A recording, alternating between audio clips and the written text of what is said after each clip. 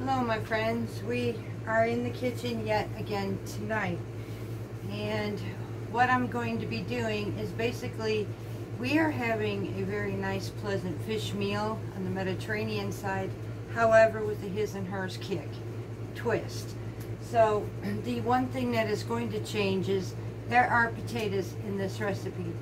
Now I will only use certain kind anymore. I will not use a regular russet potato or something like that the only type basically I will use is like little fingerlings, yellow gold, or the red potatoes to which I have here. But for my husband, we are going to change it up to have radishes, baked or fried up. These give an impression and a flavor of a fried or baked potato for him. So we are going to be taking care of his potatoes this way. In the meantime, mine these have got to boil right quick, so we're going to set our pot on here to cook. I am going to add these potatoes in here to soften.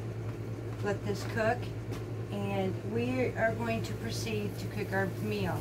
Now the fish that I am going to be using will be a fresh flounder that I we had purchased from a seafood market we found over the weekend and I had to actually fillet them I didn't get a whole lot because it wasn't a very big fish, but yet still we will be using this.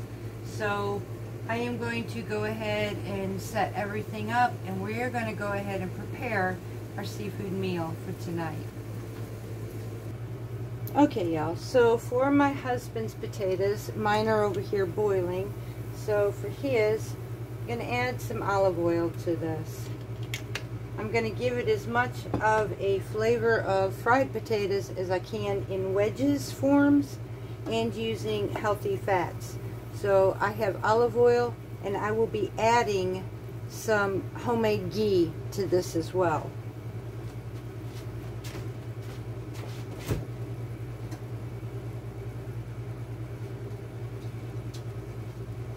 Ghee will give it a pleasant flavor of a buttery sense since this is a clarified butter. And I'm just going to add about a tablespoon to that with this.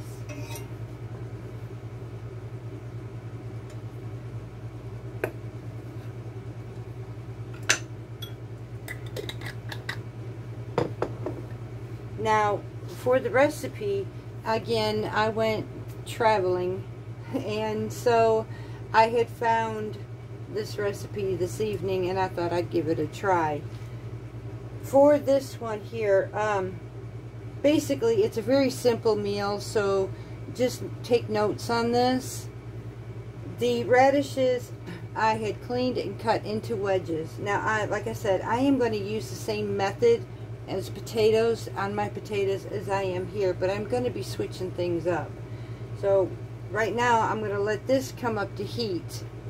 I could have boiled these, but I chose not to. I'm going to do it this way. I think it gives it more flavor to get that brown crust, basically, flavoring to the radishes. And my husband happens to really like that.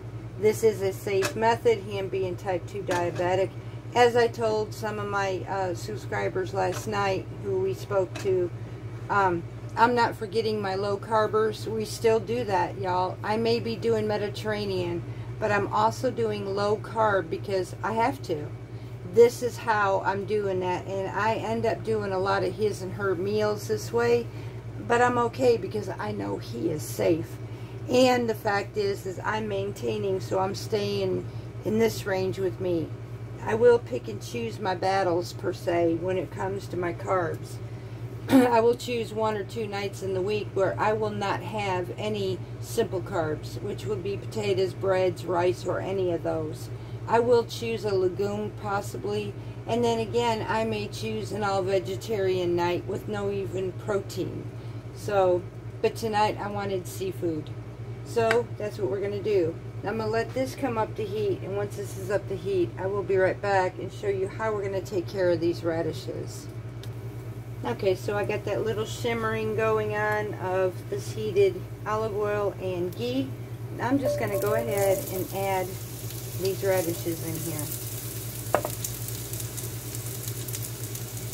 Now I'll be right back because I've got to get a spatula. One thing I have to say in a lot of my research, I have one major thing that I can honestly say I kind of feel some envy for with the Mediterranean. Most everywhere that I have looked around, they have the most amazing, beautiful markets you could ever think of.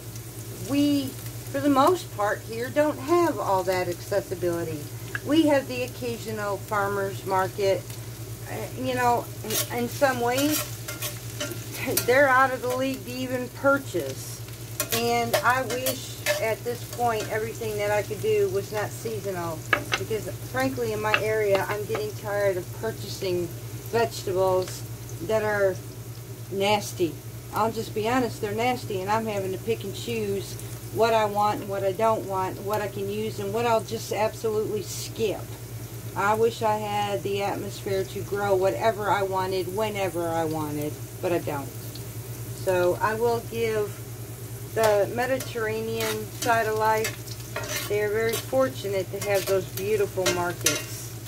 So that's one thing I wish we as America could actually gather and get clicked onto is having markets like that available for us. I think that would be really awesome.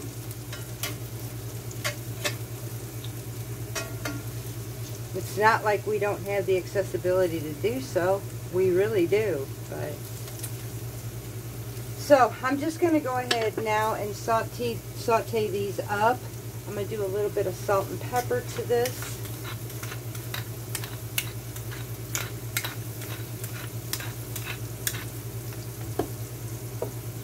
I'm using Himalayan sea salt like always.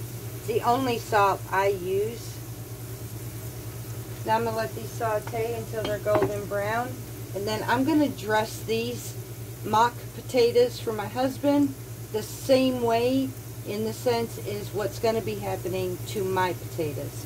So once these are uh, golden brown, I will be back to finish this side of uh, this meal up. Okay, y'all, so now we've got his radishes golden brown. And now I'm going to actually just sprinkle on some dill, some fresh dill into this. Toss this up really good. I've got my heat turned off and I'm going to set this aside because this will be the bedding for the placement of our fish. So hubby's side is finished. I'm waiting on mine. I'm going to start our fish next. This is a very quick meal. So I am actually you will find that this will be basically a very short video. It's quick, easy, you won't spend a whole lot of time. I think the hardest part or the longest part of this whole meal is waiting for the potatoes if you are those who are eating potatoes to boil and soften up. Otherwise, this is a very quick meal.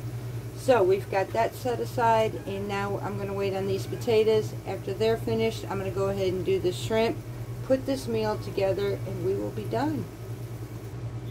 Okay, so my potatoes are finished and I am going to strain these and show you how we're going to take care of this side.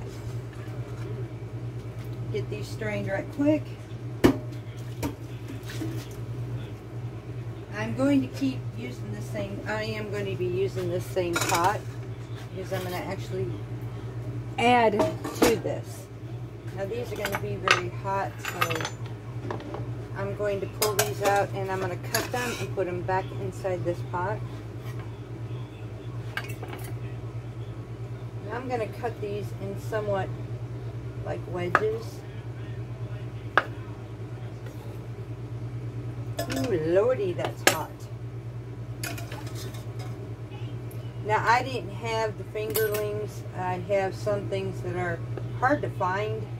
So I'm using red potatoes, so my potatoes are a bit off from those beautiful little potatoes, and I will be finding some if I can. Got one more, and this is going to be more than enough for one meal, or more. It's this is for more than just one meal. Lord have mercy. I'm burning my fingers doing this, so okay. Now, to this, I'm actually going to be adding some ghee instead of butter.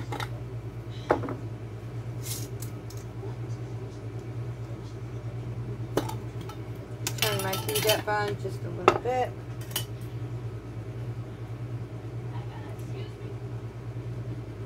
Go ahead and add this. I'm going to mix these potatoes again, just like the radishes, with some salt and pepper.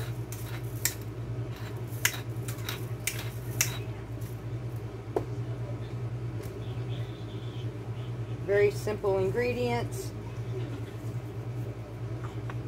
Ghee leaves kind of a nutty flavor behind, but it's a beautiful flavor on potato, and this is actually a better fat source to choose from. I happen to really enjoy ghee. But with the fish, I'm actually going to be using real butter because I need that um, butter fat to actually melt, but we're not going to use a whole lot of it. Now I am going to add just a little bit more ghee to this.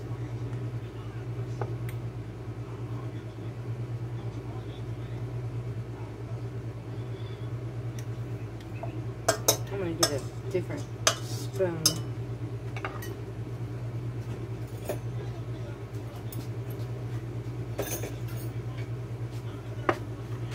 That's better.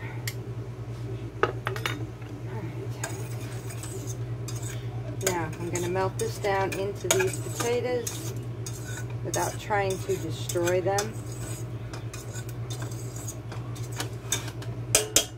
And just like the radishes, I'm going to be sprinkling in some dill.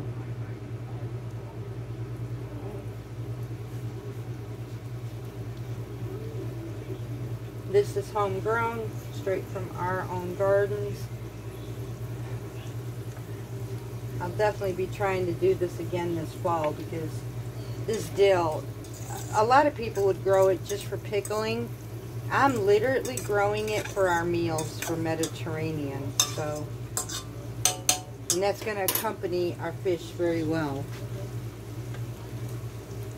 I'm add a couple more pieces of dill to this. And it's just roughly chopping it basically, so. And that's it. Oh, their aroma. Oh my goodness, y'all. Okay, so now this is done. I'm to set this aside and we are to go ahead and start with the fish. So I'll get this ready and I will be right back. Okay, y'all. So the next step is our fish. Now I am actually going to be doing this method a little bit different from the recipe that I've seen. The original recipe calls for a nice thick piece of white fish with the skin on. However, mine is filleted and there is no skin. The other thing that I am not doing, it is still a white fish, which is flounder. However, the other part that they did was roll it up in a flour mix. I am opting to take that and eliminating the flour. So I am actually going to be pan searing this flounder fillets in olive oil in my pan. I'm going to do everything else the same on this, only I'm eliminating the flour coating. Basically for two reasons. One, my husband cannot have it. Two, it cuts down on the carbs on this since I already have potatoes and I think it would be more pleasant. So, and I do not have skin, so it would not really help me per se with trying to crisp up a skin. So, this is what I am going to do. Now, I do have some really nice fillets of flounder. This is extremely fresh caught out of Biloxi, Mississippi. So, I am currently going to wait until my oil is heated through and then I'm going to add this to our pan and we're going to cook it in here. I am using one lemon. I also rind the lemon just like I've been showing you all and what I do is when I'm just using it for the juice I will take and grate the rind off freeze it because I could use it for dehydrating making lemon pepper. I can use it in recipes as an enhancement flavor to adding lemon rind very wor well worth saving when I go through so much fresh lemons. So, once this heats up, we will begin. Okay, y'all. So we have our oil hot enough, and I'm going to turn it down just a little bit. I'm going to add my fillets.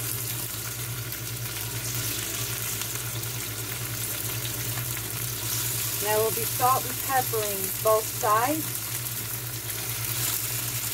as we go along here.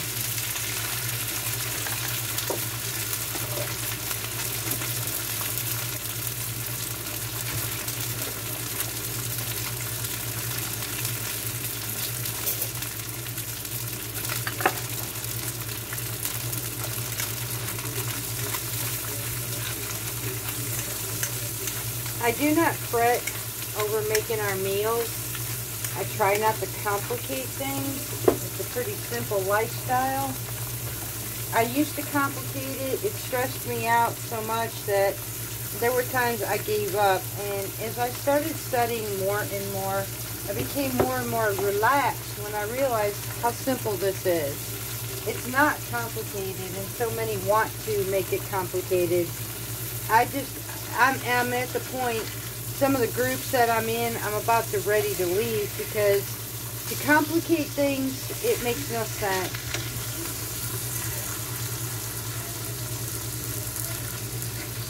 And the way I'm setting my mind to the things that I've ever known in here where we live, 95% of everything around here is processed. My mind is set onto those foods those items, they just don't exist. Um, this low-fat stuff, that it's all basically processed things. I understand some people have to have it, but it is still processed. So there are ways, there are things for us we just can't seem to get around.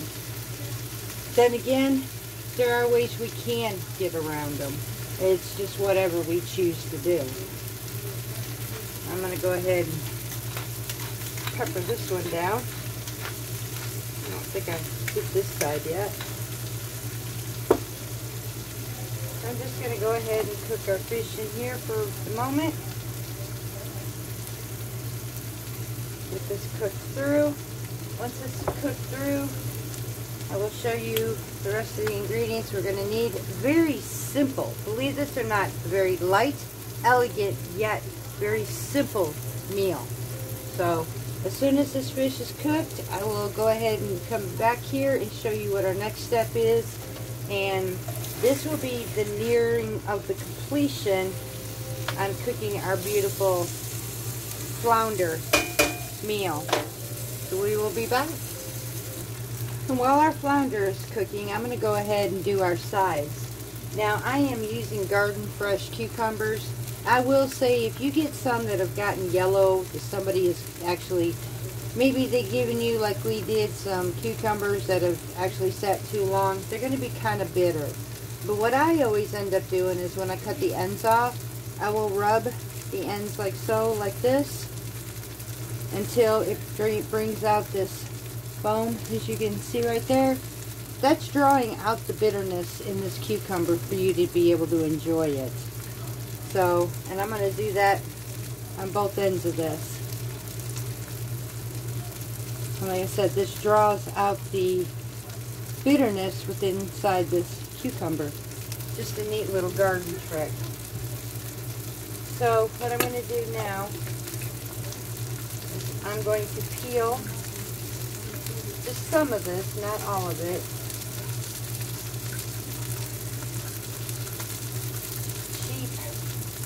stuff, y'all. We pay expensive prices for cheap stuff. Ah, that's it. So my goal was to make us some pinwheel looking cucumbers. Go ahead and flip these over again.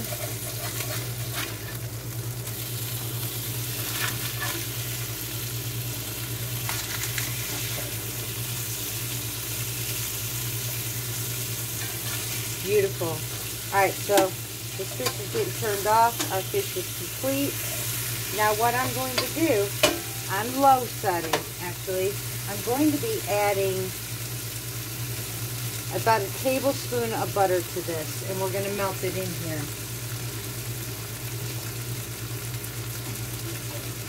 Our goal is to have this butter turn brown, otherwise known as brown butter. What brown butter means is you're going to cook down this butter just like you would ghee. You're going to cook down the water out of it first, then the butter fat to it, and it's going to leave this golden color. So that's what I am looking for. I will be wanting this golden color. So I'm going to be taking this butter down to brown butter and leaving that sit for a moment. In the meantime, I'm going to come over here, taking our cucumbers because these are going to be the sides to go with our meal tonight along with sliced avocado garden fresh cucumbers. Oh, and I got a beautiful treat, garden fresh as well. Now, this didn't come from our garden. It did come from a friend of my husband's from his job. But the next ingredient came from our own garden. So now I'm just going to add our cucumber slices to be taken within our meal.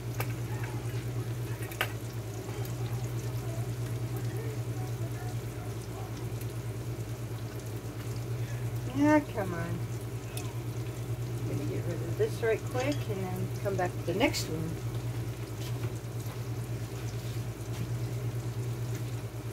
So the next beautiful ingredient will be this lovely basket of cherry tomatoes that we've been harvesting this week. And so I am going to be taking a few out of here and we're going to be cutting them in half and adding that to our side of tomatoes and cucumbers.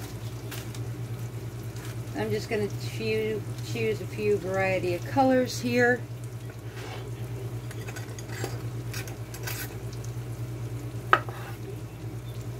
Cutting out the bigger ones into wedge forms, the smaller ones directly in half.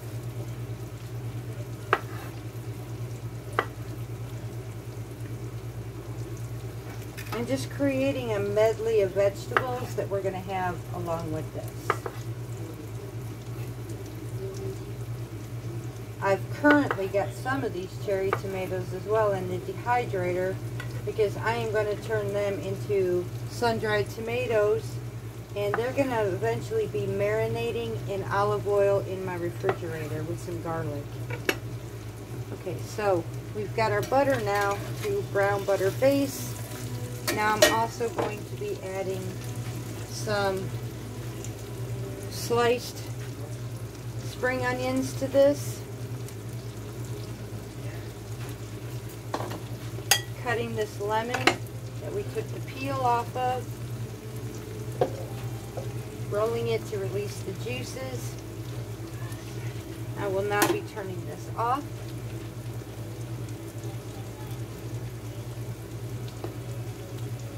Cutting this in half.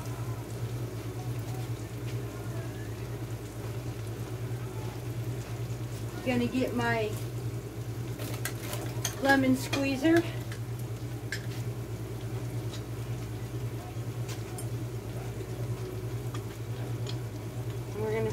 Squeeze fresh lemon all over the top of our beautiful fish. Now I'm going to use one whole lemon for this because I want that lemony flavor in here. Sometimes I wish y'all could smell this. It, the smell-o-vision would be absolutely amazing. And that's it. So our fish is prepared. Our potatoes are prepared working on our vegetables now and then we will create our dish. And then we will come back and set this up. I went to go do some uh, farm work this evening y'all. Shut the place down. I gotta tell you what I went and gathered. This is where I start really enjoying this kind of lifestyle I had my apron on, so I actually took advantage of these really deep pockets. Got some jalapenos that we found for my salsa verde. We're getting ready to make some of that. all these tomatoes. Now these are going to have to ripen the rest of the way in the house. But we've got some really bad heat, so I'm trying to save them as much as I possibly can. Look at this, y'all. That. Ooh, lordy, that's a nice one. Now we just got bits and pieces here and there. And then another tomatillo, which we've been gathering up too. So that was a nice haul. Oh wait, I got one more in there. That was actually a really nice haul. So I'm pretty proud of this and I just add it as I go along until I get enough to make what I need to do. I'm going to get this put away. We're going to uh, plate up our plates since hubby is now home. Um, and we'll be right back. Okay, y'all, so I'm going to start with his first. We're going to take a nice center scoop in the middle of this plate of his radishes.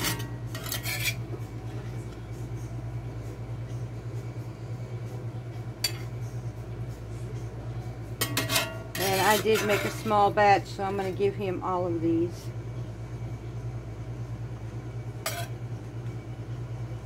Now, on top of this, we're going to serve a couple fillets of this fish on the top.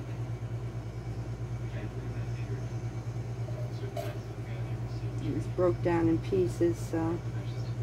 And then we're going to take some of these greens right around the edge of this plate.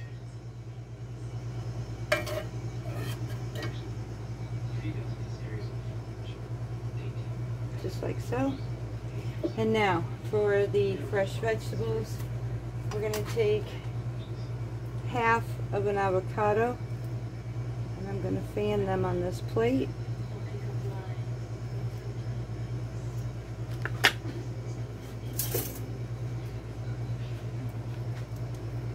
Go along of my avocado to scoop it out.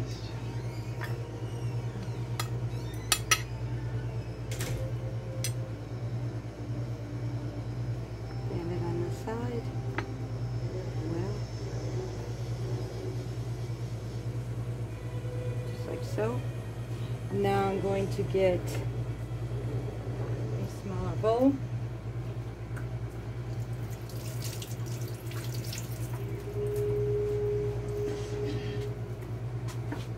Um, let's see, right here.